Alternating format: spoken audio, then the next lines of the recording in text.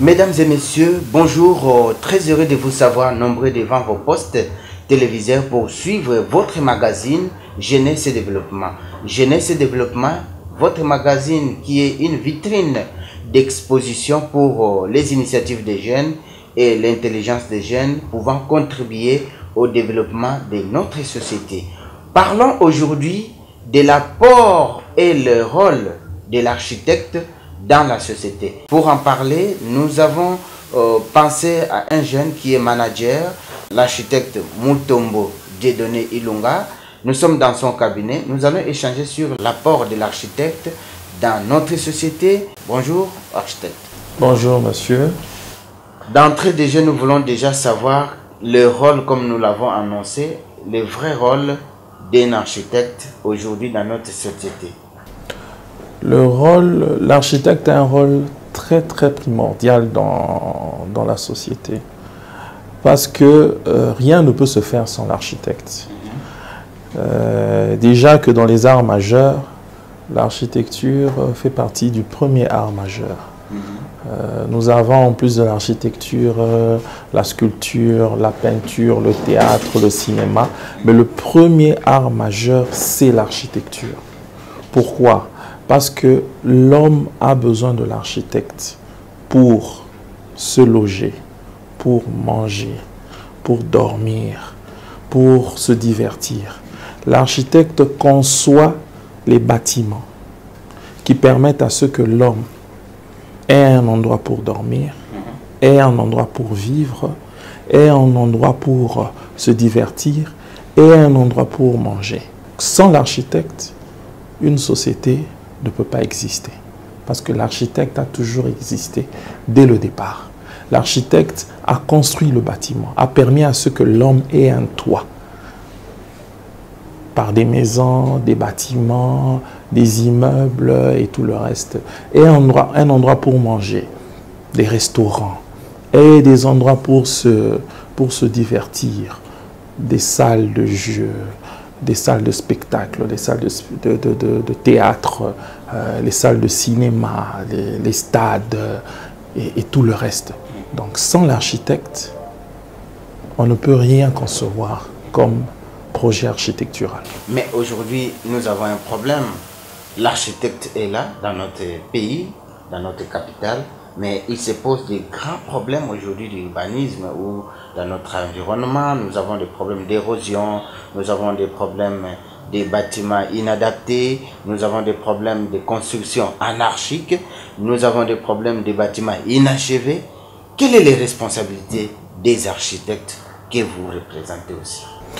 Les, problèmes sont majeurs dans notre société. Nous avons beaucoup de problèmes, en commençant par les érosions, en finissant par euh, euh, la mauvaise organisation des villes euh, qui crée des embouteillages, qui empêche à ce que la, ville respire, qu'elle soit vivable et tout le reste. L'architecte, nous sommes là. Le, problème majeur, c'est que les pouvoirs publics ne nous associe pas au développement de la ville. Déjà que euh, dans tous les pays, l'ordre des architectes euh, a plusieurs vingtaines, trentaines d'années. Dans notre pays, notre ordre n'a qu'une année à peine À peine. à peine une année. Et euh, les choses se sont toujours faites sans prendre en considération, sans aller vers ou inviter les architectes. Et c'est ça la grosse erreur. Les villes se développent, la ville se développe, se construit, mais l'architecte n'est pas présent. La population augmente, mais l'architecte n'est pas présent. Et c'est ça le grand problème.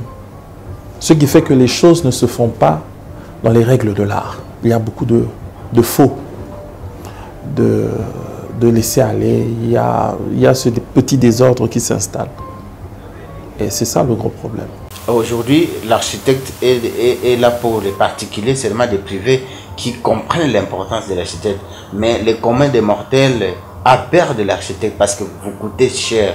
Et c'est ça aussi le problème pour euh, notre euh, l'État ou notre gouvernement Non, l'architecte, on ne peut pas dire que l'architecte coûte cher. Euh, quand vous investissez un million de dollars et que pour la construction d'un bâtiment et que vous payez l'architecte 60 000 dollars ou 120 000 dollars, c'est rien c'est rien par rapport à ce que vous investissez. Vous voyez Vous voulez, vous vous dites, bon, sur les 1 million, j'économise 60 000 dollars. Sur les, les 1 million que je vais investir, j'économise 60 000 dollars. Mais si c'est mal fait, comme on dit, qui paye le moins, paye le plus. Quand c'est mal fait, vous allez recommencer. Et vous risquez de perdre les 1 million pour avoir voulu économiser 60 000 dollars. Au final, l'architecte ne coûte pas si cher que les gens le pensent. C'est un métier honorable. Comme les médecins, quand vous allez chez un médecin, il faut payer. Quand vous allez, voilà, quand vous allez voir un avocat, il faut payer ses honoraires. C'est tout à fait normal. Et euh, je, je vois mal ce que je ne peux pas confirmer, je, suis contre ceux qui disent que l'architecte coûte cher. L'architecte ne coûte pas cher. Parce qu'au final, l'architecte vous permet de gagner, d'économiser. Il vous fait un projet qui va résister dans le temps. Un projet économique. Un projet qui respecte l'environnement.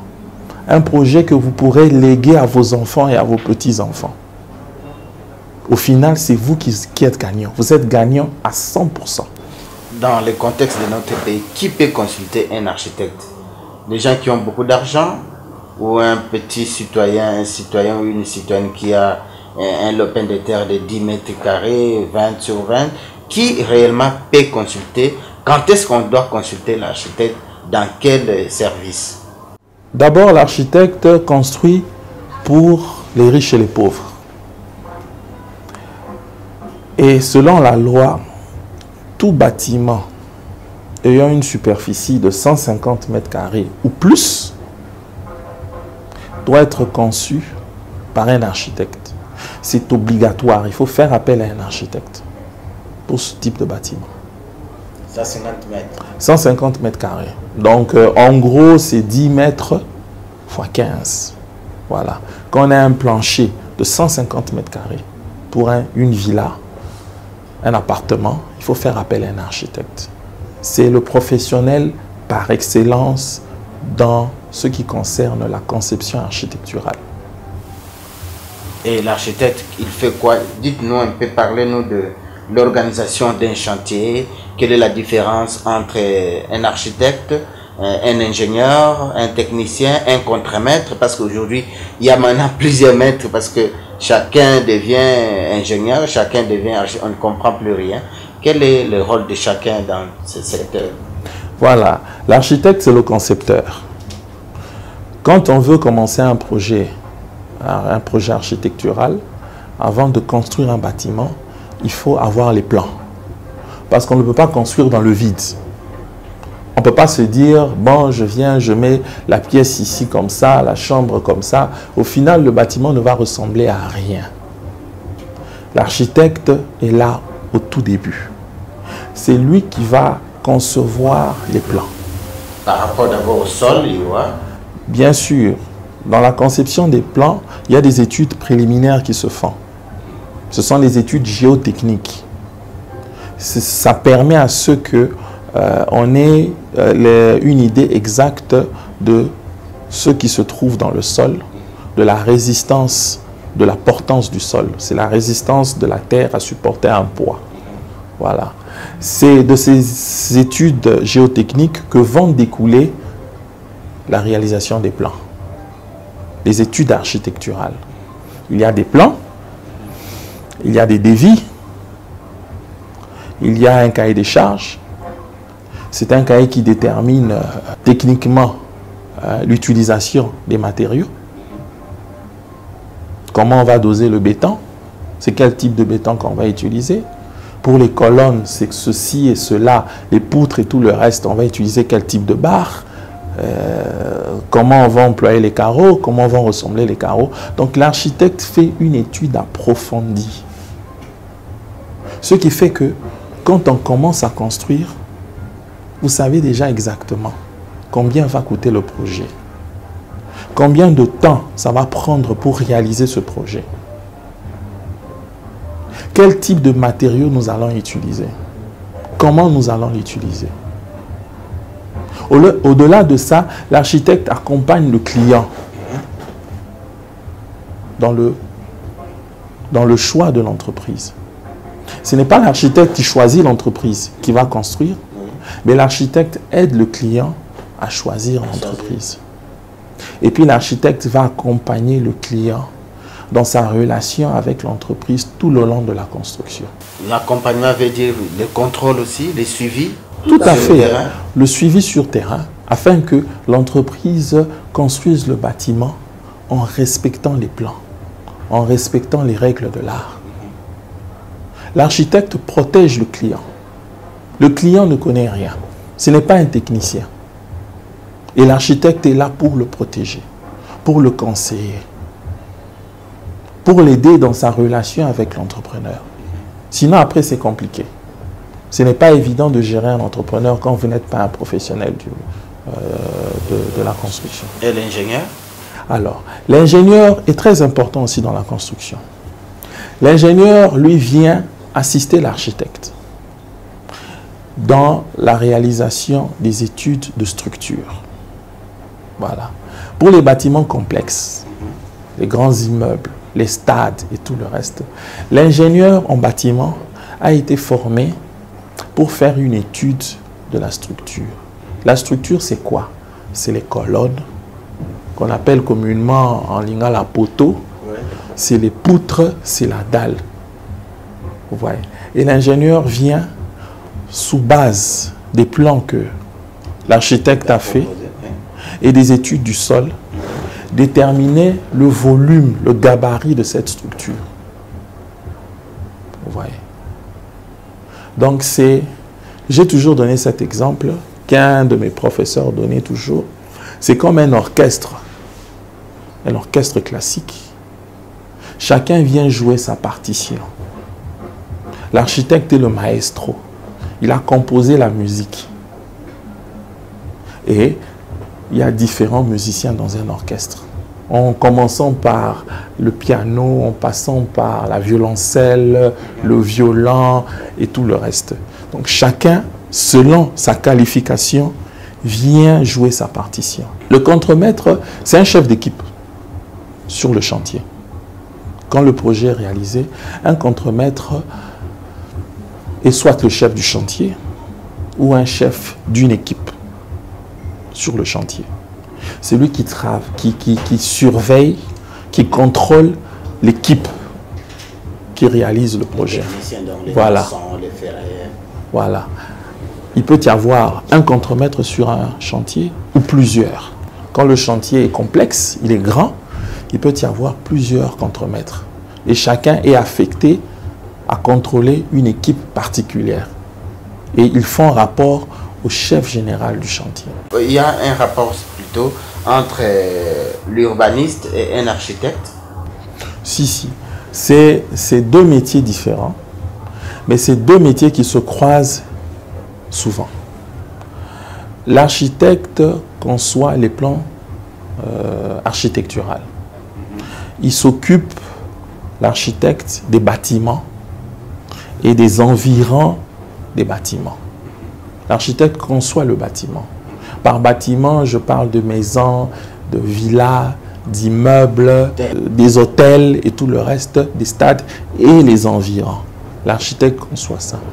L'urbaniste, lui, c'est celui qui, qui, conçoit euh, l'aménagement urbain. Il fait les plans d'un quartier, d'une ville. Parce que quand un espace est vide, on ne peut pas venir comme ça dire, bon, euh, Totonga, Tochastadawa, Bandakuawa et tout le reste. Non, non, il n'y a pas ce désordre. Il y a un plan particulier d'aménagement. Il y a un plan urbain qui permet à ce que il y ait des quartiers bien spécifiques. Il y aura l'école, selon la superficie du site. On saura déterminer qu'il y aura autant de population. Il faudra un marché, il faudrait une école maternelle, une école primaire, une école secondaire, un centre de santé, il faudrait des routes, il faudrait, bien sûr, il faudrait des maisons, rez-de-chaussée, des maisons à étage, il faudrait des immeubles. Tout cela, c'est le plan urbain. Et c'est l'urbaniste qui, qui trace cela, qui organise cela. Voilà. Et dans la création d'une ville, dans la création d'un quartier, généralement, les deux travaillent ensemble. Parce que l'architecte intervient dans les bâtiments qui, qui, vont exister dans ce quartier ou dans cette ville. Et l'urbaniste fait le plan d'aménagement urbain. Voilà. Et quand les deux travaillent comme ça, la ville est bien faite. Mais pourquoi on ne peut pas aménager notre ville pendant que nous avons des architectes comme vous? Parce qu'aujourd'hui, la ville de Kinshasa euh, ne donne plus le goût d'être capitale. Oui, la ville, a, la ville a été aménagée à son époque. La ville a été aménagée, mais c'était pour un, certain nombre de populations. Euh, mais il y a eu une croissance démographique. Euh, on parle même de plus de 85 millions d'habitants de la RDC et 12 millions, je crois, pour Kinshasa. Il faut, il faut agrandir la ville. Il faut agrandir la ville. Et tout cela doit se faire euh, dans les règles de l'art. Pas comme nous le voyons, où les chefs coutumiers qui ont des terrains dans les périphéries de la ville commencent à vendre les terrains comme ça en désordre.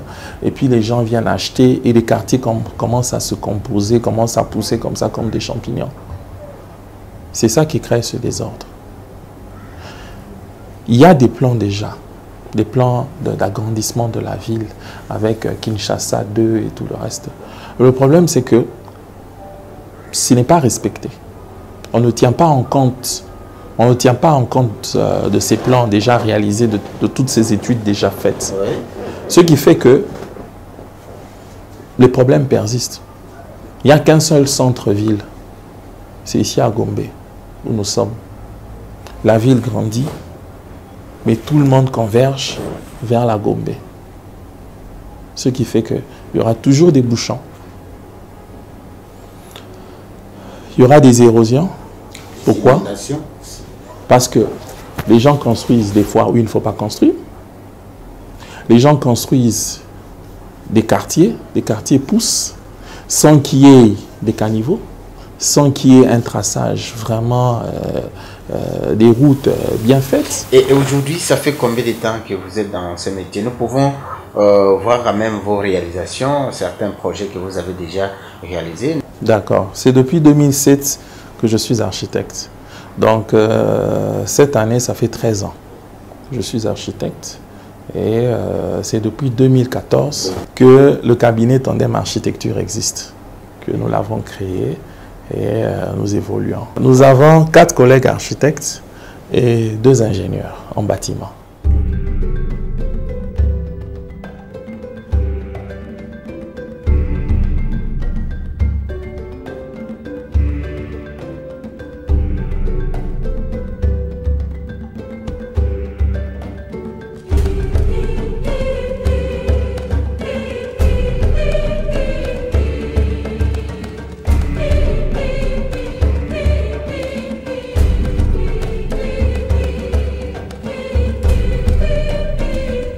Présenter quelques projets que nous avons. Donc là, nous avons euh, le chargé de tous les projets du cabinet. Euh, c'est l'architecte Alpha Kumbali. Euh, il va vous faire un bref aperçu de, ce que nous avons déjà réalisé comme projet. Le bureau travaille sur les études de plusieurs projets, de plusieurs catégories.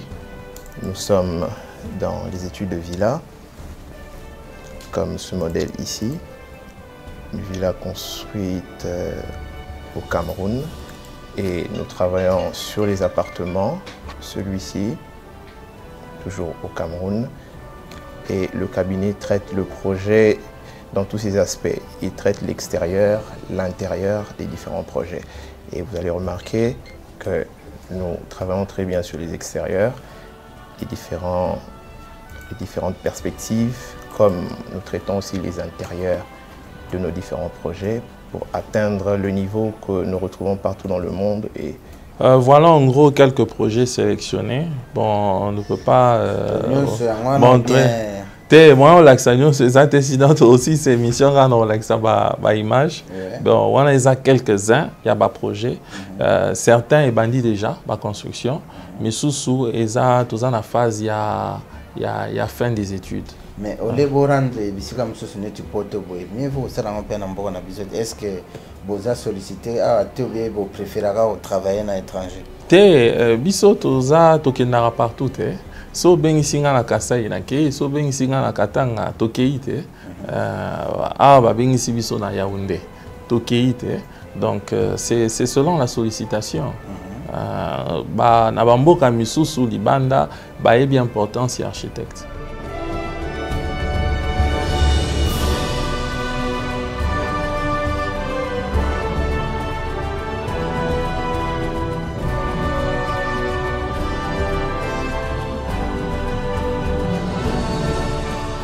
Voilà, chers téléspectateurs, nous parlons là de l'apport de l'architecte dans notre société et son vrai rôle dans l'exercice de, de, son métier dans, dans, nos milieux urbains. Donc, vous avez vu les images de notre manager jeune architecte, M. Mutombo Dieudonné, qui est avec nous sur ce plateau. Mais M. Mutombo, Babilo Kwaboye, Bilo Kwaboye, Kitoko Boye, est-ce que mpe kopropose yango te opropose mwa plan moko ya, ya, ya kinshasa par exemple 3 obi non? Tellement par exemple monga folobi commune tel osali mwa plan moko boye non? Commune oyo ekoki kozala place tel voilà ndenge ovanda mais eza mpe marché ya bien okosala mpona gouvernement na biso pourquoi seulement à l'étranger tomona baplan kitoko alors que biso ape toza na vrai problème ya baconstruction anarchique. Oui euh, tout à fait. Biso toza prêt toza prêt mpona kosala mosala toza prêt mpona kotonga mboka. Toza prêt mpona kosunga président na biso ya mboka mpona développement ya ville na biso mpona développement ya mboka na biso. On ne demande que ça. Toza na besoin babengisa biso. Toza na besoin bapesa biso mosala tolakisa valeur na biso. Tolakisa de quoi nous sommes capables. Le problème c'est que AR mo ba négligent na biso na bamboka misusu bayebi importance na biso. Bazosala kutu appel. Vous imaginez à l'étranger on fait appel aux architectes d'ici mpo bakende kotonga na epa na bango. Alors que awa bazoki mpe biso te. Tokota na polémique te mais par rapport ya bapriorité eza mikolo ndenge baérosio eza makasi banzela sikoyo lelo ekomi basaute de mouton yo en tant qu'architecte départ wana omoni yango ndene est ce que banorme eza respecté na basolo mo parce population ezolela ezosila te mais alors que balobaki ekosila telle période est ce que place wana eza nini? Parce que eza domaine moko tozoleka na biso Ok, c'est vrai que Bassaute Mouton, c'est une solution. Hein. C'est une des solutions pour faciliter euh, déplacement à la population. Comme disait le président de la République, euh, Monsieur Félix Tshisekedi, euh, souci na ezalaki bato so asilisi mosala bazongaka mbangu na ndako mpo bapemaka mpo bapase temps na famille. C'est une des solutions mais ce n'est pas une solution euh, ce n'est pas la seule solution ce n'est pas une solution définitive. Oui, oui, parce voilà, que voilà parce que baroute secondaire eza négligé il faut mpe basala batraçage ya banzela misusu. Parce que euh, baroute oyo eza wana la plupart c'est des routes au belge atika pour, un, pour Kinshasa d'un million d'habitants. Mais Kinshasa, il y a 8-12 millions d'habitants avec les mêmes zélas, les mêmes routes. Il y a Kinshasa, 1 million d'habitants au et au Simbate. Il faut créer d'autres routes. Voilà, à part ça, il faut décentraliser, il faut créer un nouveau centre-ville. Il ne faut pas que centre-ville est à moko. Biso nyonso soto ke musala to mataka ville, to mataka gombe. Non. Il peut y avoir plusieurs centres-villes. Ce qui fait que bah, siège social et l'entreprise est Rosara na Gombete. Mais bien en tant qu'architecte, vous proposez centre-ville, voilà. Au moi, market, non, centre-ville rose à la place telle. Oui, ma proposition est en haut, mais avant on va leur proposer, il faut ba ba ba peso musala te il faut pas ça parce que c'est un grand travail il faut pas peso musala ba peso mission on proposer ka boy bon aussi ici ma plan on vandi na ngo boy on pesa ngo nani. On laxa ngo nani. Tout à fait. Voilà il faut qu'on vienne vers vous. C'est comme ça que nous, lançons cet appel c'est juste pour dire euh, à la population, aux autorités que nous, les architectes, nous existons.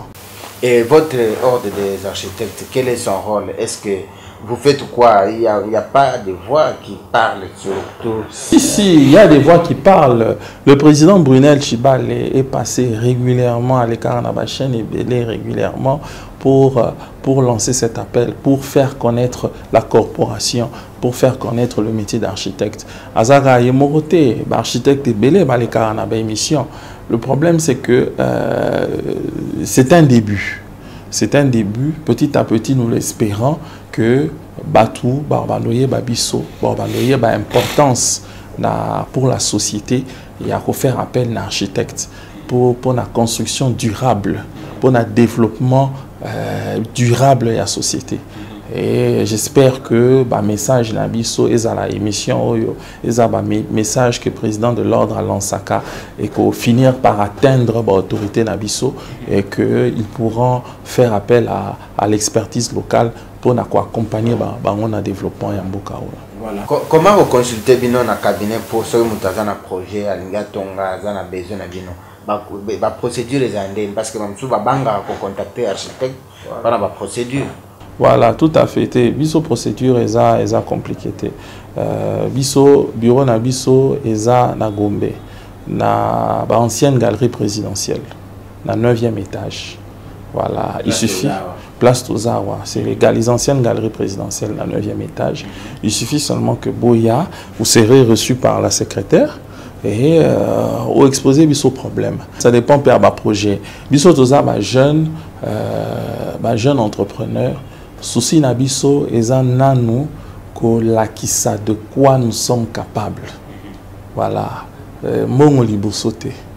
Voilà. Ce qui fait que nazo encourager bato baya babanga te baya na baprojet. Nous on aime les défis tolingaka baprojet moko compliqué tolingaka baclient oyo baza na barêve moko boye azolinga réaliser mwa eloko moko boye. Biso tolingaka yango. Tolingaka biloko fait rêver.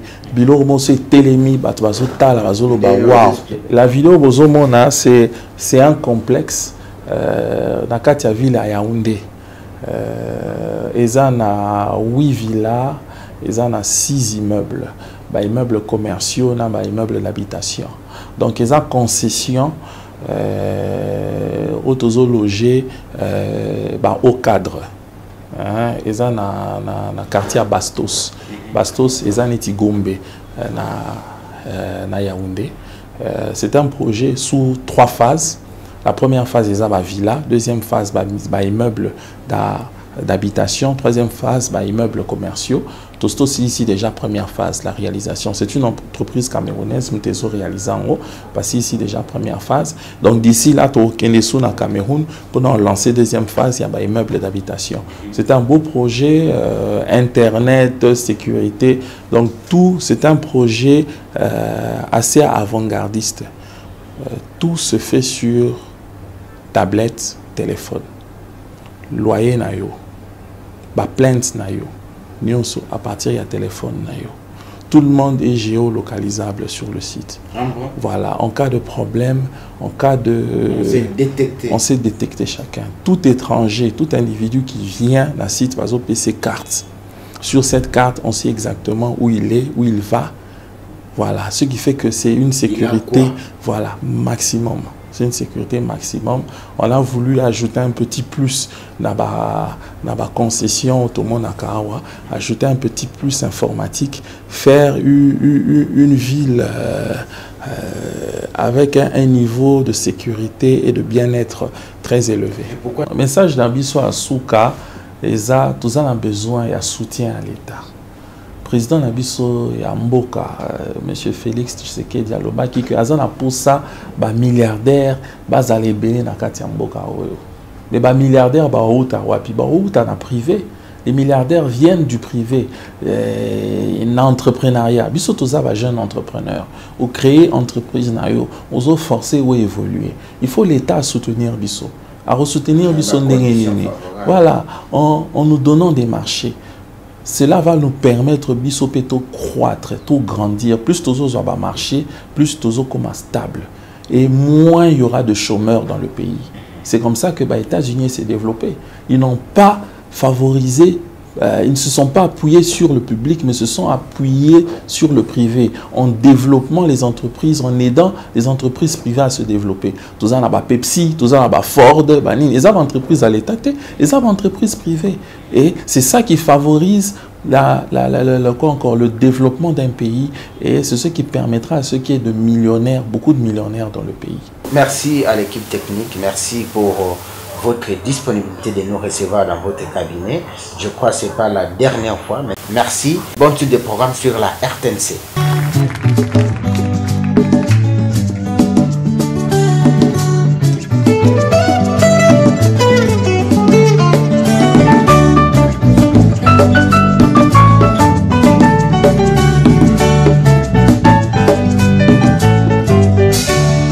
ebale